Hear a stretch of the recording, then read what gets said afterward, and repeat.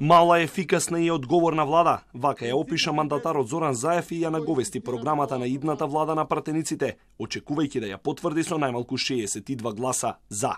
Фокусот е економскиот раст и развој, една милиарда инвестиции, 260 километри автопати, а владата одново на немерет ќе го врати прогресивниот данок, кој не успеа да заживее во предходниот мандат. За граѓаните повисока минимална и просечна плата и едноцифрен процент на невработеност.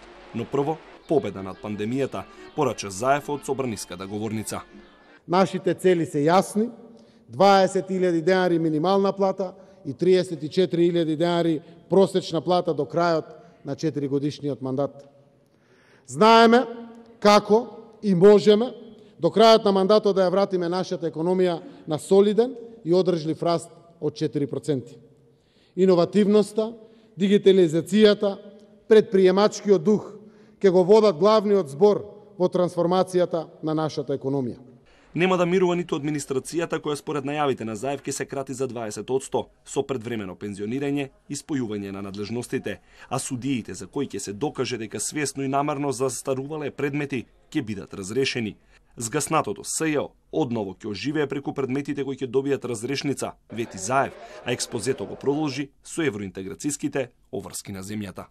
Се образуваме за следните 4 години да отвориме 80 од 100 од преговарачките поглавја, а за 6 години целосно да ги затвориме преговорите.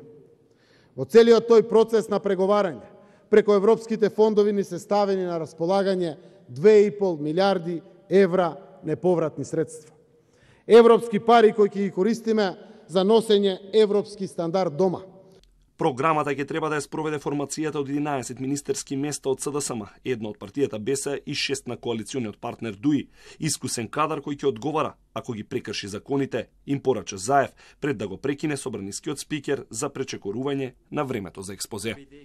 И никогаш не заборавајте дека секој од вас е одговорен и пред граѓаните и пред законите, нема толеранција за прекршување на законите или етичките норми без разлика на функцијата која извршуваат. Довршете ја мислата. Завршувам председателе.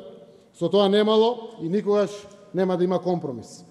Новата влада ќе треба да го реализира и децениски стариот план за нов клинички центар. На лекарите им вети 10% зголемување на платите секоја година од мандатот, а на граѓаните им порача дека многу од ветувањата ќе се исполнат откако ќе заврши пандемијата со коронавирусот, ситуација која според Заев ќе се влошува во наредните месеци.